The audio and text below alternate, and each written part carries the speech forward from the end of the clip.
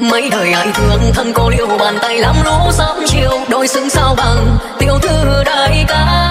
Dối lòng không thương anh, mà nước mắt tuôn nhanh, đau thấu mây trời nhìn người mình yêu xa rời. Từ nay cô ấy sẽ là người thay thế em, dỗ dành anh trong mỗi đêm, đến khi nắng